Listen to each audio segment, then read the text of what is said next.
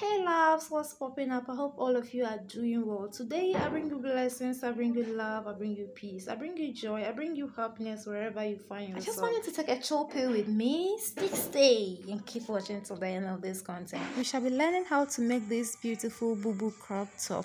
This fabric you are seeing right now, the length is 18 inches and the width is also 18 inches. So when you are cutting the width, make sure you factor in the length of your shoulder divided by 2 plus the length of the sleeve. That's how long you want the sleeve to be.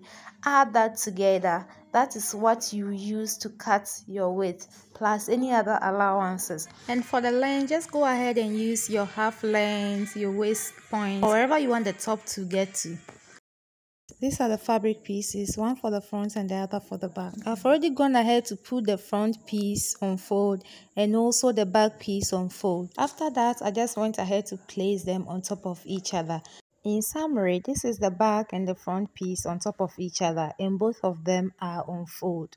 The first thing we shall be doing is to determine our neck width. For the neck width, I'm going to be using 4 inches for that and the neck depth for the front, I shall be using 9 inches. So this is 9 inches I'm marking and I'll go ahead and just join this two points. That is the neckline for the front. For the back neckline, I shall be using 1.5 inches and I'll just connect it to the neck width then the next thing we want to do now is to mark our shoulder divided by 2 so my shoulder divided by 2 was 8 inches. I went ahead to mark that and also determine the length of the sleeve. So for the length of the sleeve i wanted 9 inches. I'll be adding 1 inches for the folding allowance. From that point i'll be stepping down by 2 inches and I'll be connecting that to join with my neckline. So this is our shoulder slope. We shall also be determining the opening of our sleeve. That's how wide we want our sleeve opening to be. For me, I shall be marking 9 inches for my sleeve opening. From this side, I'll be coming in by 3 inches and I connect it to my sleeve opening. That is just all for the cutting. My length was just exactly what I cut out, which was 18 inches. Don't need to do any cutting right there. What we are going to do now is we're gonna be cutting everything out. Kindly take this moment to subscribe to this channel. If this video has been helpful you can go ahead and click the like button. If it is not helpful you should also go ahead and click the dislike button. This is going to help me know the impact of the video. And on this very channel i had a video on how to make a very beautiful palazzo pants for this type of bubu and crop tops. Go ahead and check that out after this video. This is one of the videos on my channel that is getting most views. In this channel we do everything fashion everything diy everything tailoring and everything sewing. You definitely need to subscribe to this channel and be part of the family okay? We eat fashion we drink fashion we sleep fashion we do everything fashion on this channel. If you're into anything like that then this is the best home for you and you are warmly welcome when I get to this side, I'll first of all cut out the back neckline. I'll go ahead and separate the front from the back. And I also cut out the front neckline. I'm done with everything. This is the back piece and this is the front piece. I'll take it to my sewing machine. First of all, I'll join the shoulder line this way. And on the other side, the same way. Let me do that and come back and show you what we should do next.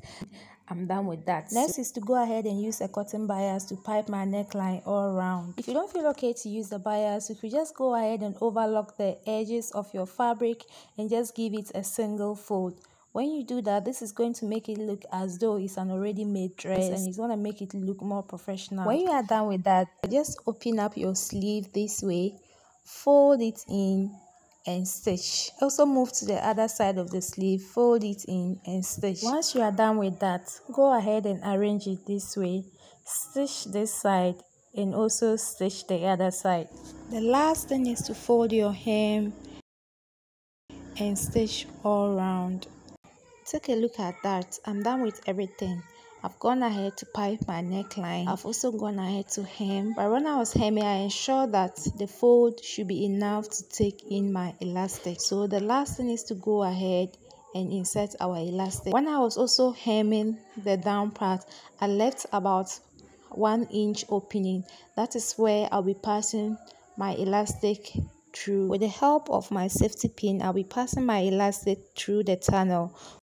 I'll top stitch on the elastic band. Once that is done, I'll go ahead and close up that one inch opening. That is it. this is how it's looking on my dummy isn't that beautiful this can go with a palazzo pant and it will look very beautiful i have a video on that kindly check that out thank you for stopping by and see you in my next video